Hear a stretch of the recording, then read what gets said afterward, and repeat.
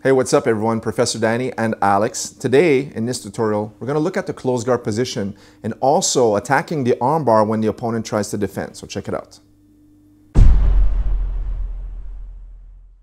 All right, so I'm gonna set up the armbar position from the close guard. So here I'm having a sleeve grip going at the elbow, controlling his arm, now going up on top to his shoulder here to break his posture.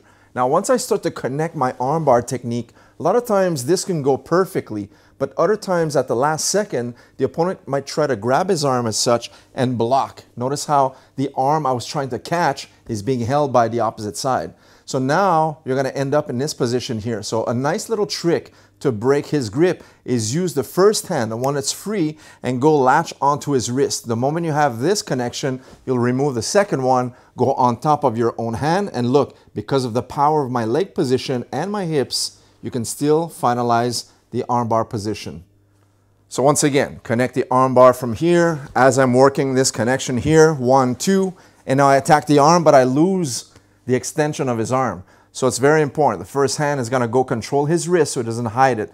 I'll remove the first hand here, go on top of my first hand, and now from here, extend and finalize.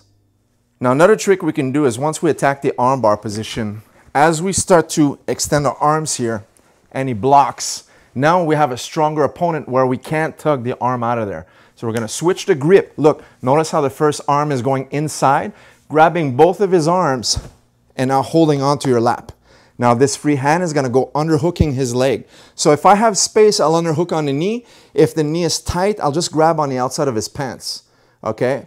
So once we're here now, we're gonna extend our right leg, the one that's over top, and as he falls, let's turn towards the camera. As he falls here now, you're gonna end up in this position right here. What I'm going to do is cross my ankle. So the bottom leg is gonna go on top of the first leg. And look, we're just gonna undo the latch. So basically when he's holding on like this, tug on the elbow. Now this hand goes to the wrist, second one to the wrist. And here we have the armbar. So once again, we're attacking the armbar. We'll do it on the opposite side. From here, as I start to turn and I attack, he defends. So notice how the first hand is gonna go inside, trap his arms, hold on to your lap. Now this free hand is gonna go under hooking here. Now I'm gonna tug, push him to the mat. Let's turn a little bit.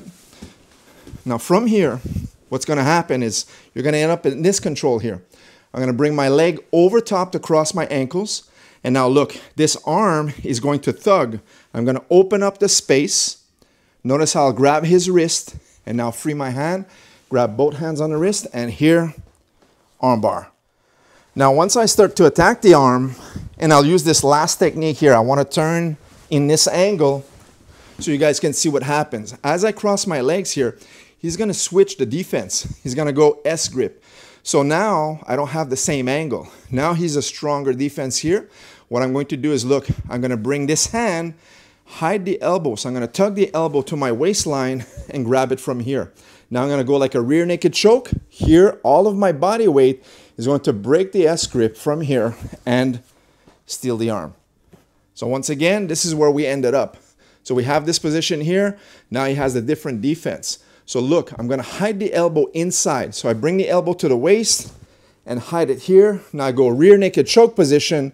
As I turn, one and armbar.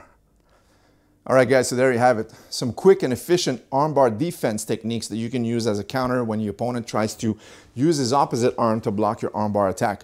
Hope you guys enjoyed this tutorial. Leave us a thumbs up. Make sure to subscribe. We'll see you in the next video. Take care.